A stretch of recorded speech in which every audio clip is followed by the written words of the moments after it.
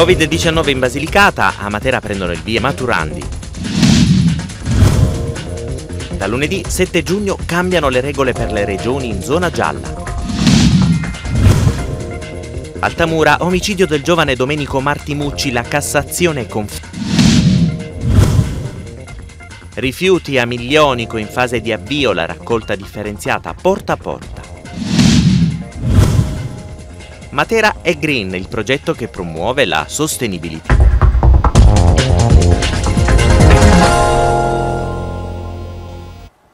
Ben trovati, iniziamo subito con il parlare di vaccini perché a Matera hanno preso il via le vaccinazioni ai maturandi e si proseguirà così di giugno prossimo, abbiamo raccolto le loro voci.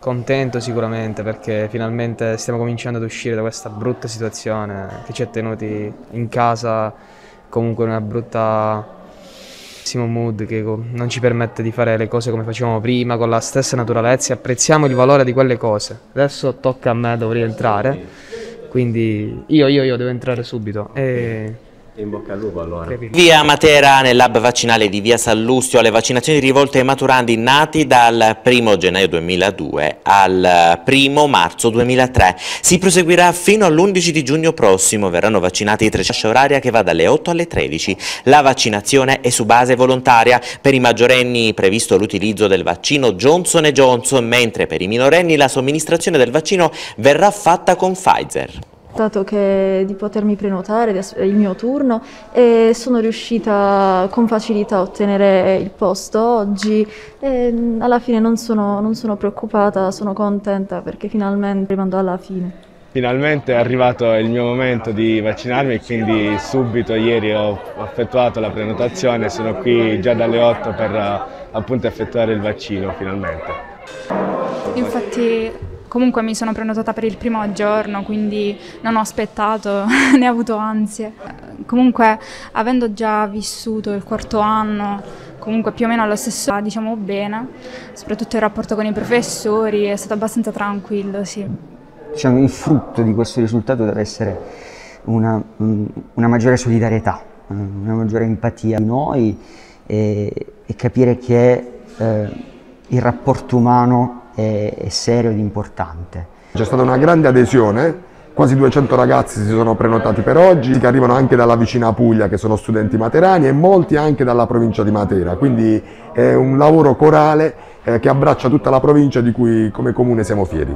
E stamattina erano prenotate persone, più sono venute altre persone fuori regione perché la piattaforma fuori regione chiaramente fa un controllo sul codice fiscale però noi li abbiamo accettati e sono venuti volentieri. Stamattina già qui, stavano già molti ragazzi, contenti, felici, sorridenti e hanno accettato volentieri questa, questa, questa vaccinazione. Da domani regole per le regioni in zona gialla. Da lunedì 7 giugno cambia l'orario del coprifuoco in zona gialla, quindi anche in Puglia e Basilicata. Sarà spostato a mezzanotte, mentre sarà abolito per i territori che entrano in zona bianca. In zona gialla possono restare aperti fino alle 24, orario entro cui le persone devono fare rientro alla propria abitazione. Nelle regioni che dal 7 giugno passano in zona bianca, secondo le ultime notizie Veneto si uniranno a Friuli, Molise e Sardegna, il coprifuoco viene tolto da subito e non ci sono più limitazioni agli spostamenti notturni. Per la zona gialla invece rimarrà almeno fino all'inizio dell'estate, l'abolizione prevista dal 21 giugno prossimo. Dal 7 giugno dunque non cambia nulla in zona gialla per le riaperture, solo dopo il 15 giugno è previsto l'ok per feste di matrimonio, fiere pa, tematici, acquatici ed avventura, quindi riassumendo in zona gialla possono stare aperti ristoranti e bar, all'aperto e al chiuso, ma sempre con il limite di 4 persone non conviventi sia all'esterno che all'interno. L'orario di chiusura imposto per il coprifuoco, come detto, viene spostato alle 24 da lunedì.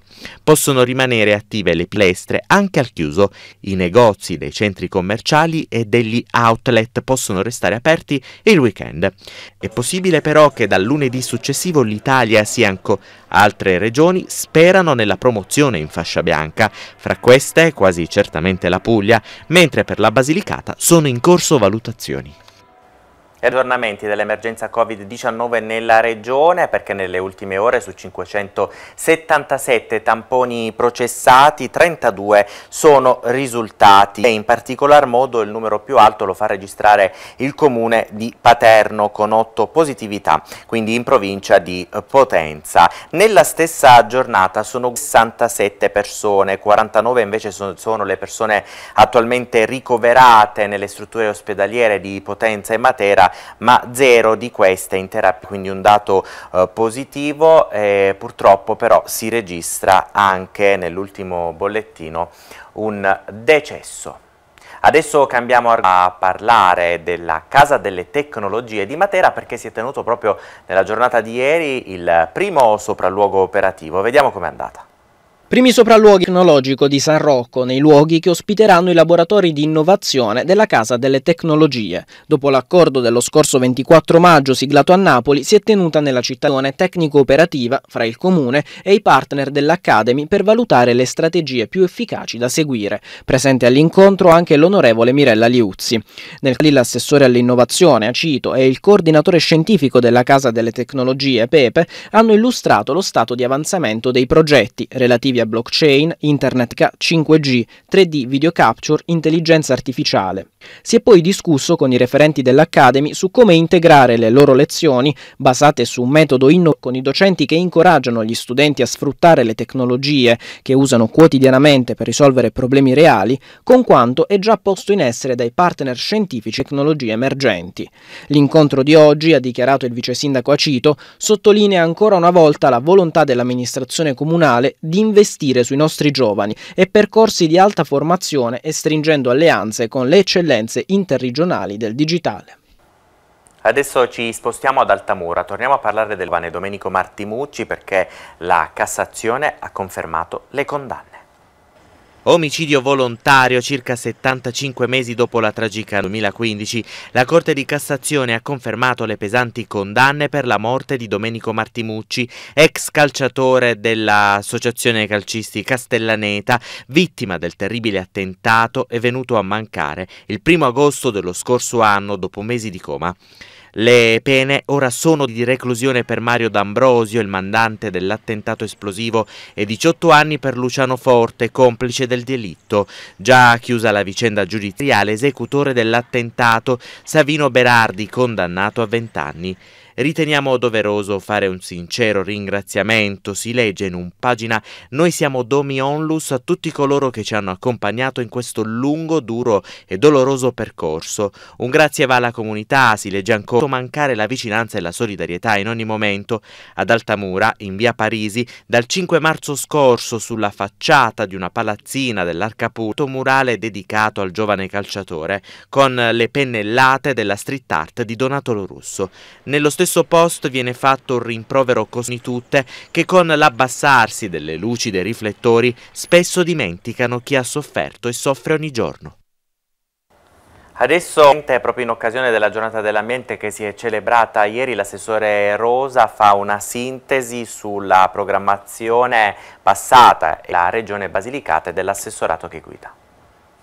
In occasione della giornata mondiale dell'ambiente che si è celebrata il 5 giugno si apre il decennio ONU per il introdotto con l'obiettivo non solo di tutelare ma di far rivivere foreste, terreni agricoli, mari e montagne. È un tema importante che indica la su un tipo di ecologismo evoluto che si occupa sia di tutelare l'esistente che di ricostruire quanto si sta perdendo ed è un tema che come Dipartimento Ambiente su svariati fronti lo sottolinea l'assessore regionale all'ambiente della Regione Basilicata Gianni Rosa. Maggiori del territorio, valorizzazione e sviluppo sostenibile sono le tre direttrici lungo le quali si sta sviluppando l'attività dell'assessorato all'ambiente. Dall'inizio del governo Bardi e dal mio mandato è stato necessario trovare un equilibrio, precisa Rosa, in un percorso graduale che tenesse conto di ambientali ma anche di quelle sociali della nostra terra, partendo dalla consapevolezza che per parlare seriamente di sviluppo sostenibile bisogna sono le condizioni di partenza dei singoli territori. La nostra regione contiene in tema di ecosistemi grandi contraddizioni dell'era moderna e acqua, boschi e mare dall'altro e non possiamo prescindere da questa realtà. Per questo le prime azioni sono state quelle di sviluppare, li aggiunge Rosa, abbiamo riformato l'Agenzia regionale per la protezione ambientale di Basilicata al fine di renderla più performante, abbiamo in per incidere maggiormente sulla tutela ambientale, ma evidentemente, come chiede anche l'ONU, non basta, la sfida che ci siamo imposti non è solo quella di lottare contro l'inquinamento, ma anche di tutelare e ripristinare l'immenso patrimonio naturale della Basilicata. Invece in fase di avvio la raccolta differenziata porta a porta. Non mancheranno di certo le difficoltà, ma a fronte di abitudini aiuteremo l'ambiente, costruiremo una comunità più sostenibile per i nostri figli e avremo un risparmio sulla bolletta Tari già da quest'anno raddoppierà il prossimo se saremo una comunità modello. A dirlo è il capo dell'amministrazione comunale di Miglionico, Francesco Comanda, grano capofila dell'Unione Comuni del Subambito 2, Pomarico Grottole Grassano, che si prepara ad affrontare l'importante sfida rappresentata di conferimento dei rifiuti. In queste settimane, dopo la distribuzione di bidoncini, sacchetti biodegradabili e un'articolata campagna intensificate le affissioni, la distribuzione di materiale informativo, app per dispositivi mobili e social compresi, dove l'amministrazione miglionicente ai vari dubbi che inevitabilmente accompagnano questa prima fase di avvio. Le attività di comunicazione e accompagnamento riguardano nonché i titolari delle attività commerciali. Da lunedì quindi anche Miglionico è pronta a gestire la prima fase del servizio, inevitabilmente compro, ma il sindaco comanda è sicuro del fatto suo. Insieme a tutta la squadra di amministratori comunali, commenta, abbiamo cercato di fare del nostro diffusione certosina di tutte le informazioni utili per una corretta raccolta differenziata. Abbiamo scelto uno slogan coinvolgendo i cittadini per la campagna informativa, conclude. Ora dobbiamo fare uno sforzo collettivo affinché la cosa funzioni e ne va del benessere di tutti. Matera e Green è invece il titolo del progetto che promuove la sostenibilità ambientale diffusa in città. Tre giorni alta di affermare che Matera è green con una serie di iniziative promosse in maniera sinergica da alcune associazioni in città per ripulire alcuni luoghi e altresì la vivibilità degli spazi verdi. Un insieme di iniziative dunque terminate domenica e inserite nella settimana verde europea 2021 Inquinamento Zero. Sabato l'appuntamento con il trekking urbano da un orto all'altro con la partenza dalla pineta dei Vigili del Fuoco. Questa iniziativa eh, rientra nella, nella, Green Week a cui diciamo, l'amministrazione ha aderito come pa e, L'obiettivo che è già iniziato diciamo, con, altre, eh, con, altre, manifestazioni come quella ieri per esempio in piazza in sostenibilità e gli assessori si sono confrontati con i cittadini eh, ascoltandoli, che, mm, le, le, iniziative che questa amministrazione porta avanti per la sostenibilità. Quest'area verrà eh, manutenuta, cioè verrà asfaltata. Degli operai del consorzio di bonifica che si occupano eh, di forestazione, li mette a disposizione la regione, ha bisogno pulita dai rifiuti rifiuti. Ci siamo resi conto che sono tante le persone e i ragazzi, soprattutto la nuova generazione, che non hanno vissuto come forse fatto con la terra, quindi c'è proprio questa volontà da parte delle nuove generazioni di ecco, entrare a contatto con la terra, di mettere le mani nella terra, capire mh, come funziona la produzione del cibo che mangiamo o tutto quello che c'è dietro, quindi eh, milenti e scoprire tutto questo mondo. Oggi in occasione del Corpus Domini nella chiesa di Cristo a Mirare l'infiorata realizzata con 20.000 petali di fiori, 14 pannelli con i temi sacri saranno esposti lungo la... I pannelli sono stati realizzati da scout, catechisti e fedeli. Quest'anno l'atto di devozione realizzato a Matera per iniziativa del parroco della chiesa Cristo Re, padre Carlo Basile, membro della comunità francescana dei frati minori. Ci fermiamo qui, grazie per averci seguito, buona domenica. Thank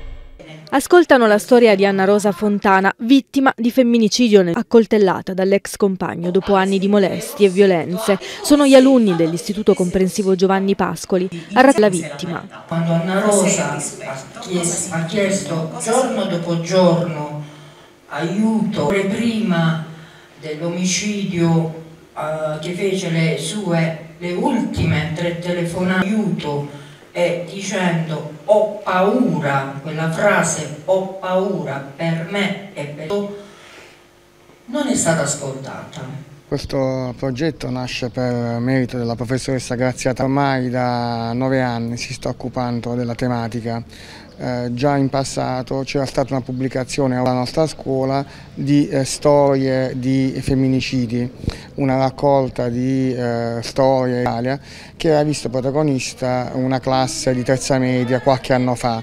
Eh, su questa scia la professoressa Tanto ha cambiato il ciclo, ha continuato a eh, insistere su questi temi e eh, si incrocia l'associazione eh, Anna Rosa, una di noi, eh, condotta da Antonella Fontana e si è pensato di ehm, giungere, far giungere a conclusione un ulteriore percorso di approfondimento sulle tematiche di genere eh, attraverso la raccolta di altri testi, altre storie che eh, verranno nel mese di settembre dall'editore Graus di, di, Napoli. Stimolare il cambiamento culturale e la consapevolezza dei diritti sono gli obiettivi della professoressa Grazia Tantalo con la collaborazione costante di Antonella Fontana.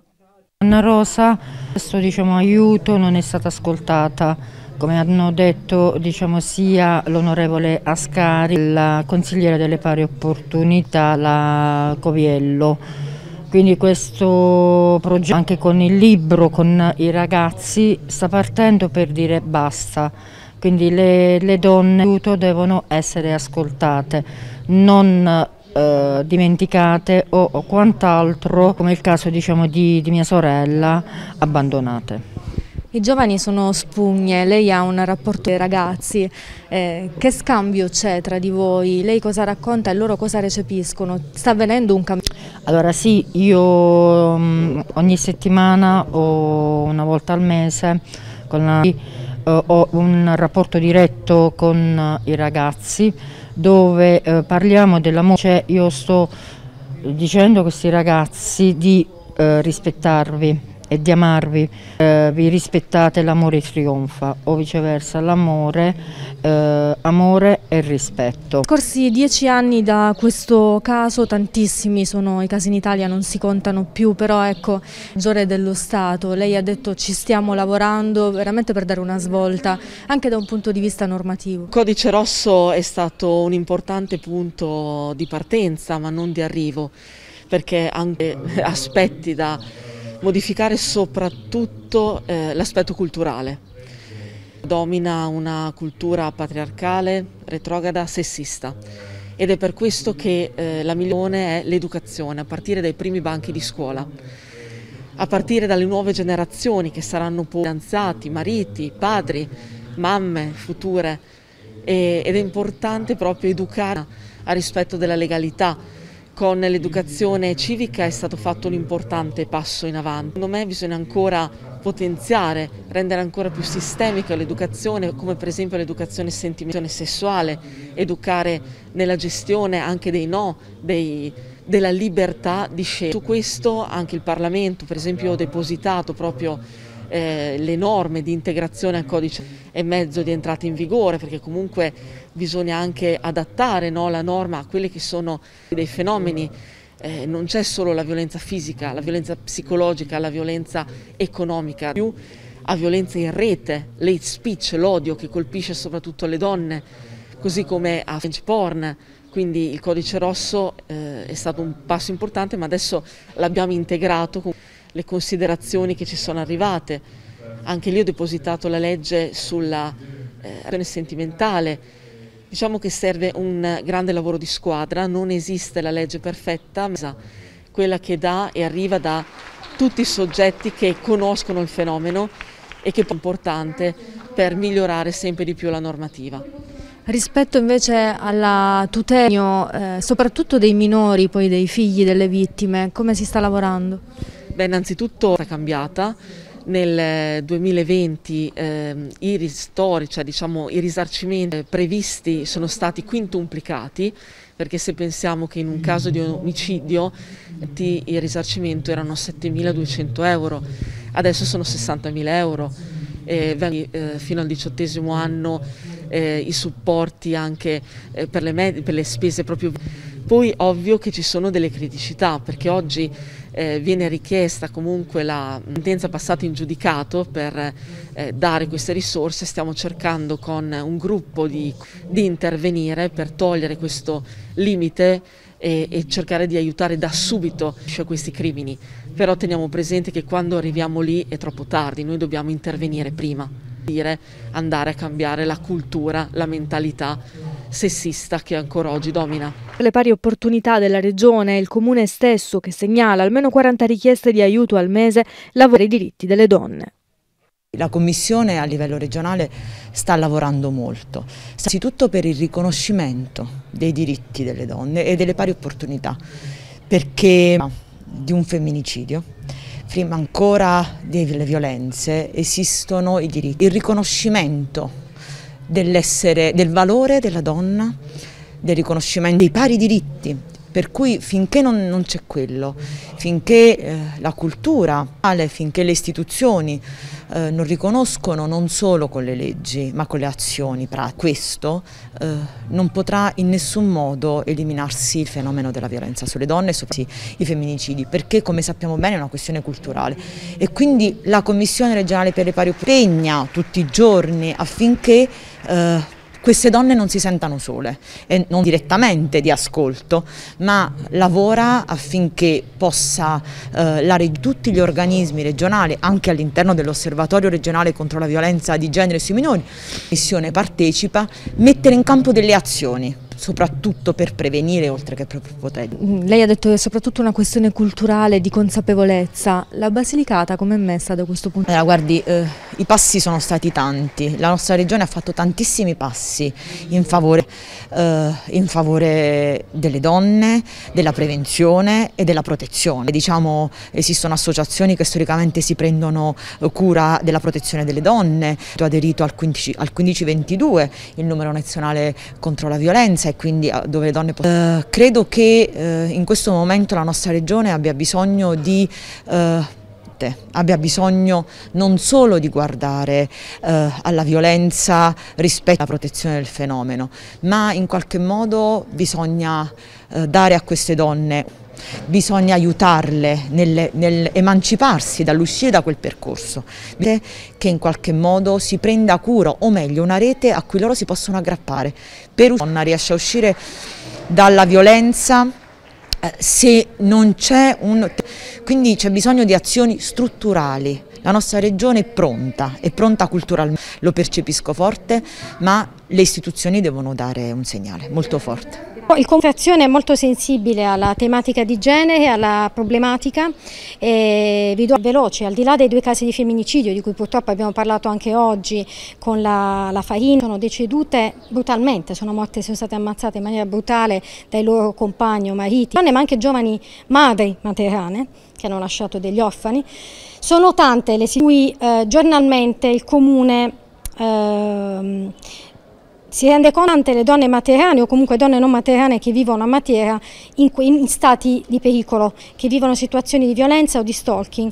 Parliamo di circa perché c'è uno, uno, in comune, uno sportello a cui ci si può rivolgere, lo, lo dico anche stavolta, un'email dedicata e chiedere aiuto attraverso di noi. Sono circa 40 mm, al mese che pervengono di, di, aiuto, quindi più di una al giorno, più di una donna al giorno, a volte il telefono almeno due donne al giorno che chiedono aiuto e spesso lo ricevono sotto forma di supporto psicologico. Lavorativo economico in un secondo momento, ma anche, anche su quello stiamo lavorando per cercare di dare una mano. Sono pienamente purtroppo, no, purtroppo vengono vengono, eh, devono recarsi al pronto soccorso, devono, eh, devono chiedere l'aiuto delle forze dell'ordine. Quindi la situazione è piuttosto grave. Siamo qui oggi per sicuramente culturale e anche legato a un retaggio eh, di, di, di, matrice eh, di, tipo, di, tipo, patriarcale ecco, dal punto di vista culturale. Dal punto di vista culturale, ecco, come è messa? Lei che percezione ha rispetto al tema del rispetto delle donne? Sicuramente negli ultimi anni, eh, grazie anche alla Rete Donna, che è il protocollo d'intesa che è stato comune portava avanti ormai da un paio d'anni, è aumentata sicuramente la sensibilità. Non sono sicura la Farina e la, mm, la, Fontana avrebbero vissuto il percorso che hanno vissuto, non sono state ascoltate e poi sono, insomma, alla fine sono purtroppo morte per pagni.